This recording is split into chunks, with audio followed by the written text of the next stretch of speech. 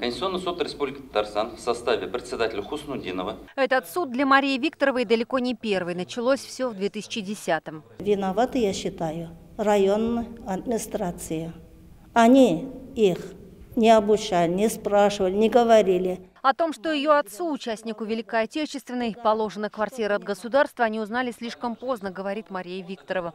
В семье в законах никто не разбирался. Представители соцзащиты пришли к ним только в 2010-м и помогли ее маме, 92-летней вдове, написать заявление на квартиру.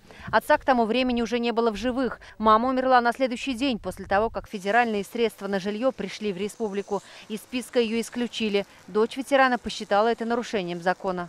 Несправедливо, конечно. Они заслуживают. До Берлина дошли. 19 лет было ему. Слепой остался человек. Суд Вахитовского района Казани, Верховный, Кассационный в Москве в иске ей отказали. Сегодня Конституционный суд республики также вынес решение не в ее пользу. В случае смерти нуждающихся в жилье они лишаются этого статуса. Это прописано в положении Кабинета министров Татарстана и признано соответствующим Конституции.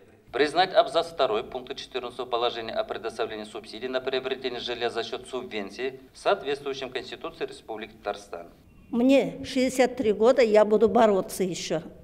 Я должна доказать, что они заслужили оба, и мама, и отец. Подобных судебных дел в республике еще не было, но, возможно, это не конец истории. Сегодняшним решением Конституционного суда Мария Викторова категорически не согласна и намерена обратиться в Европейский суд по правам человека.